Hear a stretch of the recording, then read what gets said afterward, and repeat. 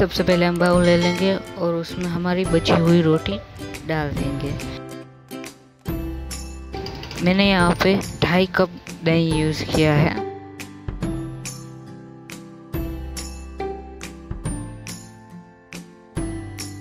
अच्छी तरह से हम रोटी को दही में कवर कर लेंगे।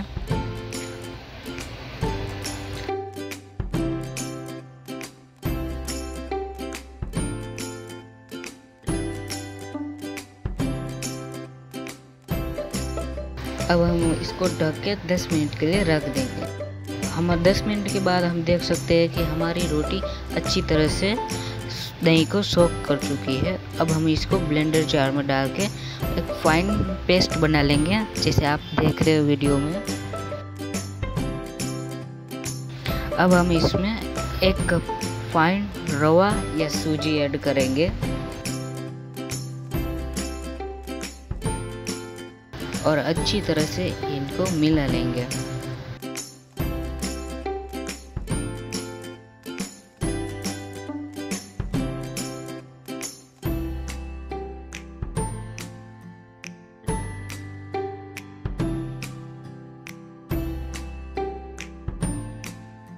और हम ढक के इसको वापिस से 10 मिनट के बाद देखेंगे। 10 मिनट के बाद हम देख सकते हैं कि अच्छी तरह से रवा सूजी ने पानी सोख कर लिया।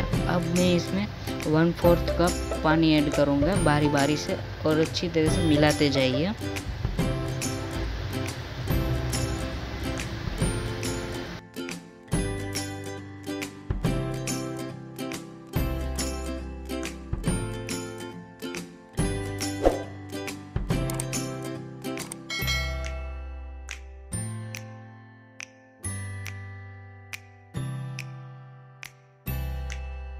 इसको ढक के पंद्रह मिनट के लिए रख देंगे। पंद्रह मिनट के बाद हम देखते क्या कि अच्छी तरह से मिक्स हो चुका अब हम इसमें two tablespoon red chilli powder one tablespoon हल्दी पाउडर और स्वाद अनुसार नमक डाल देंगे और फिर अच्छी तरह से मिक्स कर देंगे।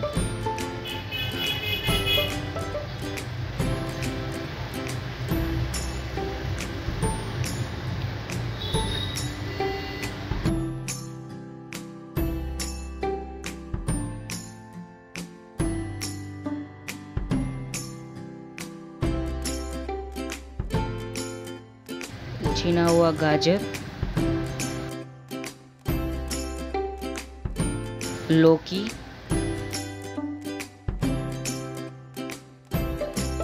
और थोड़ा सा अदरक डाल देंगे।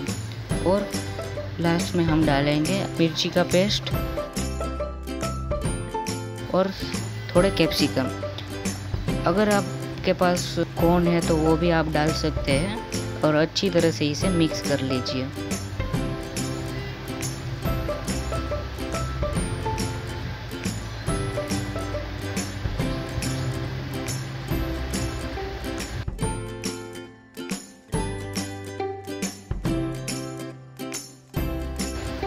अब हम इसमें एक टेबल स्पून पुदीना और एक टेबल स्पून धनिया। और इसे अच्छी तरह से हम वापिस से मिला लेंगे। अब हम इसमें एक पैकेट पूरा इनो यूज़ कर रहे हो। और थोड़ा सा पानी डाल के हम इनो को एक्टिवेट कर लेंगे। और अच्छी तरह से इसे मिक्स कर लीजिए। और हमें इसको तुरंत पका लेना है।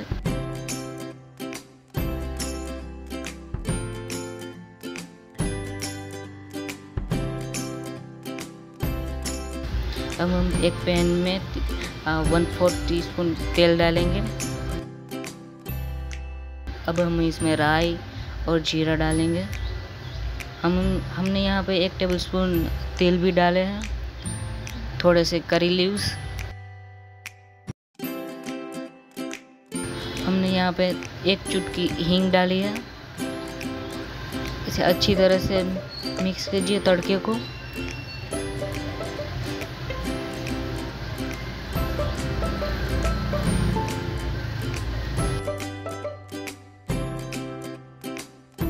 फिर हम उसमें अपना बेटर तैयार डाल देंगे।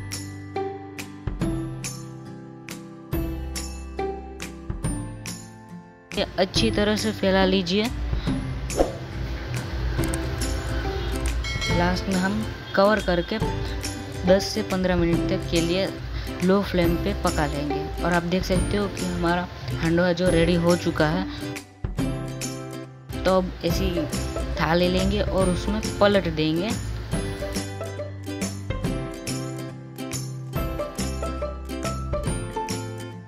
और फिर से हम तड़का बनाएँगे। वही रिपीट प्रोसेस करेंगे तड़के के लिए। जीरा, राई, हींग और थोड़े से तिल और करी लीव्स के साथ।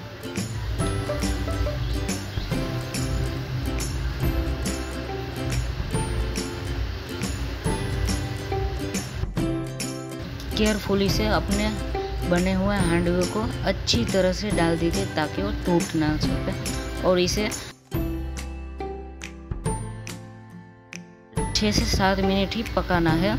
अब हमारा हांडवा रेडी हो चुका है।